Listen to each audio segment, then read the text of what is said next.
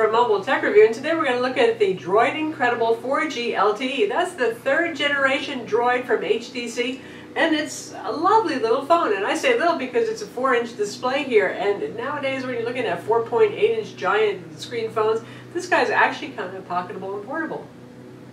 The Droid Incredible 4G LTE is the third generation Droid Incredible from HTC. We have Droid Incredible 1, the Droid Incredible 2, and instead of calling it the Droid Incredible 3, we have the 4G LTE model. Uh, the, the Droid Incredible or the Dink has always been a popular phone, and there's a lot of good reasons for that. Good quality build, nice display, reasonable size in this one. For those of you who think that uh, Samsung Galaxy S3 is a nice Android phone, but 4.8 inches, well, that's just getting kind of big for you. There's the 4 inch Droid Incredible for you. LCD display here. QHD resolution. We're not going up to full 720p, but that's because, well, it's 4 inches and things get, do get kind of tiny. So you're looking at 960 by 540 pixels. Same as the Motorola Droid Razr and Razr Max in terms of resolution. Got your capacitive buttons here. We're running Ice Cream Sandwich OS 4.0 with HTC Sense 4 software. I like what HTC has done with the Sense software a lot, and we'll talk about that in detail. And on the back, we have that distinctive waterfall finish that we've seen in all of HTC's Droid Incredible line. Kind of the sculpted back gives it an interesting look. A little texture here makes it more griffy. Soft touch finish feels good red ring around the lens to jazz things up a little bit. You got an 8 megapixel camera here with a backside illuminated sensor. No dedicated imaging chip like we have on the HTC One X. Too bad Verizon didn't want to pick up the One X, but this is their own interpretation, shall we say, of the One X. It brings a lot of the goodness of the new One series over to Verizon. Got our flash here, a little shiny corner just for some visual interest. Red power button, doesn't rattle, easy to press, but not too easy to press. That means accidental button presses aren't a problem. Up here we have our 3.5 millimeter headphone jack, microphone hole. It's your volume rocker here on the side. This is the little pull spot to take the back cover off. Yes, you can remove the back cover. Sealed phones are becoming more and more common, like the One X and the Razr again. You can open this guy up. We'll show you that in a minute. Here's your micro USB port on the side.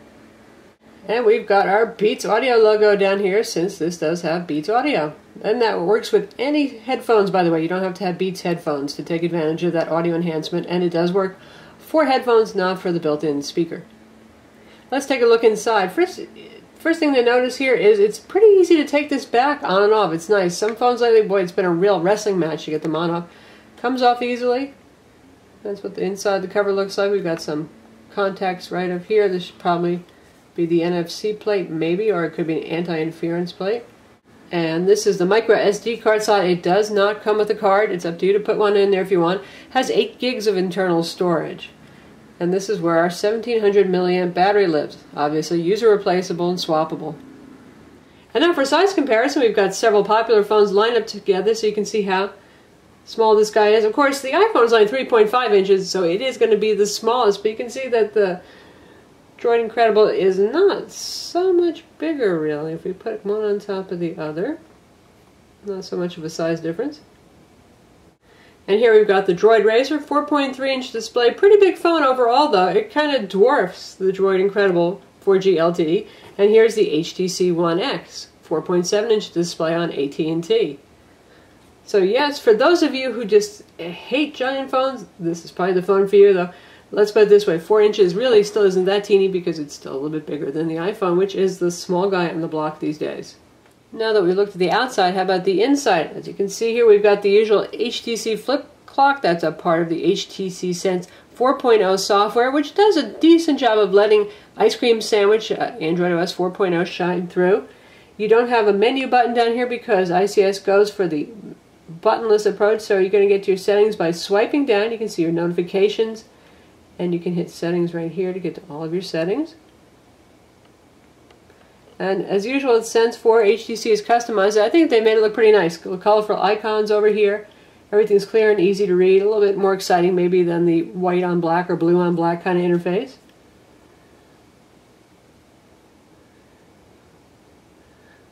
The phone has Wi-Fi 802.11 BGN dual band, Bluetooth 4.0, and it has a GPS, and it's got NFC as well. We've got our quick launch strip here, and also if you put the phone to sleep, you're going to get that usual HTC ring. You can drag up an application to launch it while you're unlocking the phone at the same time. Pretty convenient. Samsung has copied that in the Galaxy S3, as a matter of fact, with their TouchWiz software. And if you want to get to all your applications, you just tap right there, and there's your grid of all your apps. Now you can see all the apps look really, the icons look nice and fine and sharp, and that's, again, because we've got QHD put on a 4-inch display here, so that makes it pretty sharp. This is a Super LCD display, not a Super LCD 2, so it doesn't look quite as stunning in terms of eye-popping color and brightness as, say, the HTC One X does, but still a very nice display.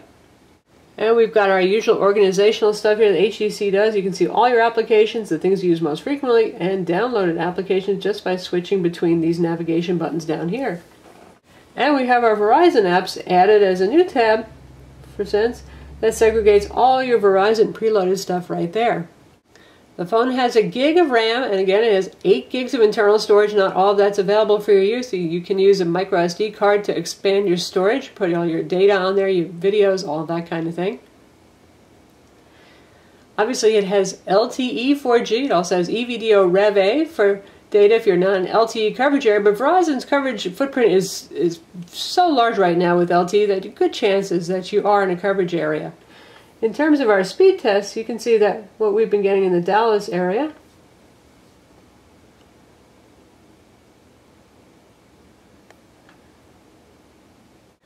good speeds right there. The, the the worst that we did was 10 megabit per second down. That that's really good right there. And then we as high as 14.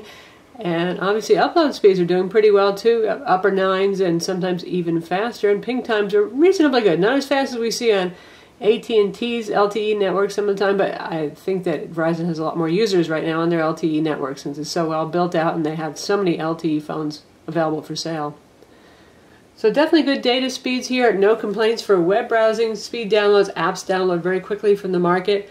And it does the usual Verizon phone thing where it tries to turn on Wi-Fi whenever you use anything that uses the internet. If that bugs you, you can turn it off, or you if you'd prefer to have it use Wi-Fi so you don't hit your data cap, well, then you're going to love that feature. In terms of voice quality and volume, volume is good. I'd say it's about average to a little bit above average for the earpiece and about average for our callers. Voice sounded clear, but it sounded a bit digitized on both ends as well. And we had a pretty good signal when that was happening, so I think that probably just is the way it is. And we noticed the same thing with the HTC Rezound. It sounds like the DSP is maybe a little bit overactive. Again, it's not intelligible, unintelligible. It's not a terrible problem, but it's not landline clear decent, pretty good though. And you can see what the dialer looks like here. This is HTC's customized dialer. We've got quick shortcut to the phone, to our contacts, to groups, so on, and nice big easy to use buttons and options to switch to speakerphone. You can also control things like your Bluetooth headset and all that. One nice thing about HTC Sense software, uh, say you've got a meeting appointment for a, a dialing conference call or something like that. It just happened to me and I really appreciated the software.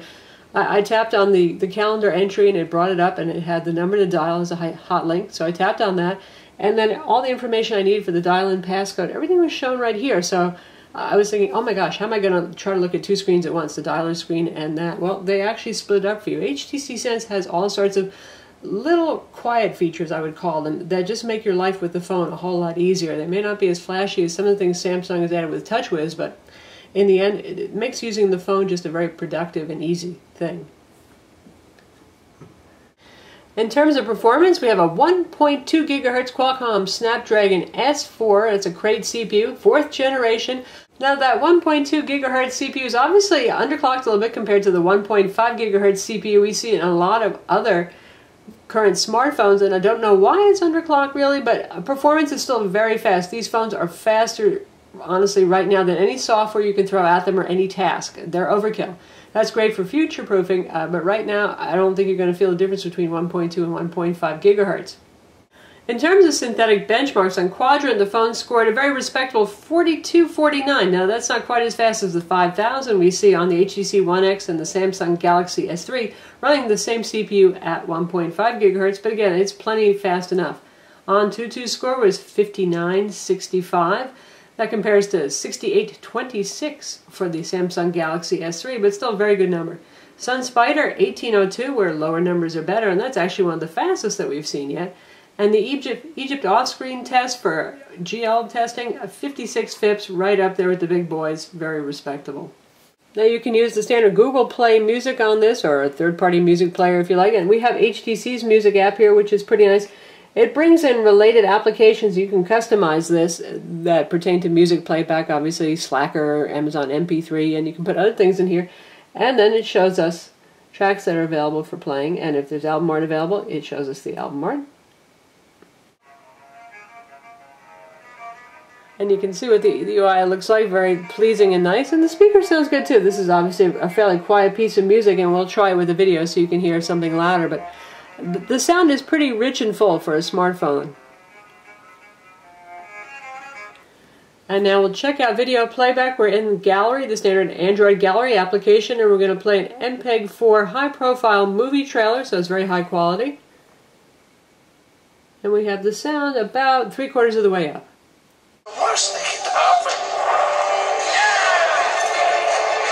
So there you go, playback's good. Speaker's pretty impressive, isn't it? Loud and full.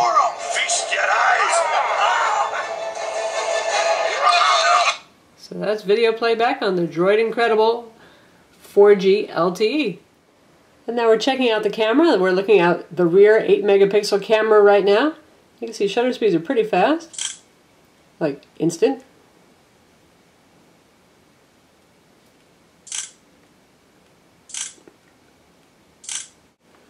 And if you want to shoot video, you simply do that. And it immediately starts recording video. That's a new HTC thing. And as you can see, we've got a shutter button here, so you can take pictures. And there they are appearing just like that very quickly while you're shooting video, which is pretty cool. And we're shooting 1080p video.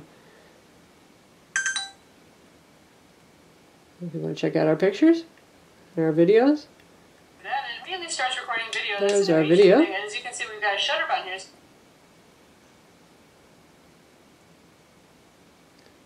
And here are the pictures that we shot of our wonderful bathtub toy.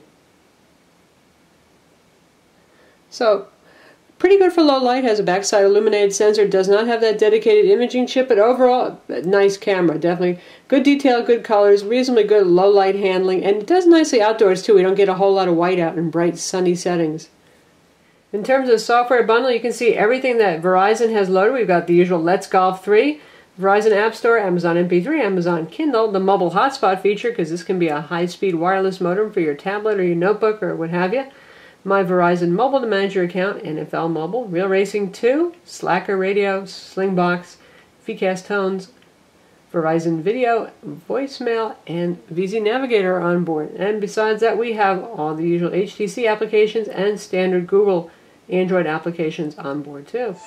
Alright, now we're going to test out gaming. We've got EA's Real Racing 2 here.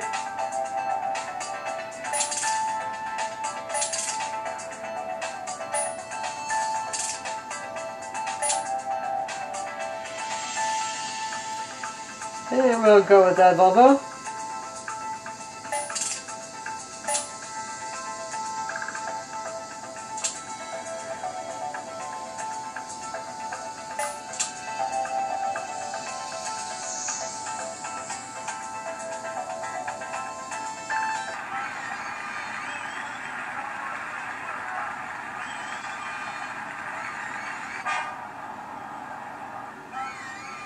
Is nice and colorful for this kind of game.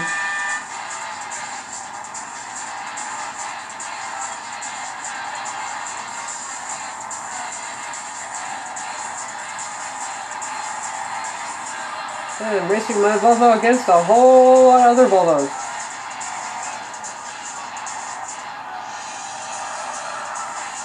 Plays smoothly, graphics look nice, sound is obviously loud and clear.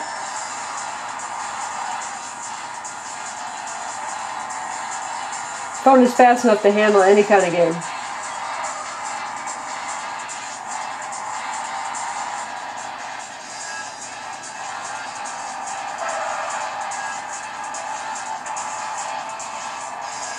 LTE phones on Verizon haven't always done so well with battery life, but There have been a lot of improvements. The Qualcomm S4 CPU is very power frugal, and also Qualcomm makes a very good radio chipset that that handles the switch between LTE and 3G pretty well without destroying your power. So we've actually found that we can make it through the day with one one sing, single 1700 milliamp battery, uh, no problem on a charge in our LTE coverage area. So that's pretty good. Definitely progress there uh, and a good selling point. So that's the Droid Incredible 4G LTE by HTC, the third generation HTC Droid for Verizon Wireless. It's available now. It's 199 with contract, though right now Verizon has a web sale going on and it's 149 with contract. And obviously, uh, the biggest competition it's going to have right now is the Samsung Galaxy S3 that just came out, which is the same price. Bigger phone, bigger display, lots of nice features there, also very tempting. So really what it comes down to with this phone is uh, your preference for HTC Sense versus Samsung TouchWiz and the size of the phone. If you don't like a big phone, well then obviously the Incredible has an advantage there. I'm Lisa from Mobile Tech Review. Visit our website to read the full review of the Droid Incredible 4G LTE and don't forget to subscribe to our YouTube channel.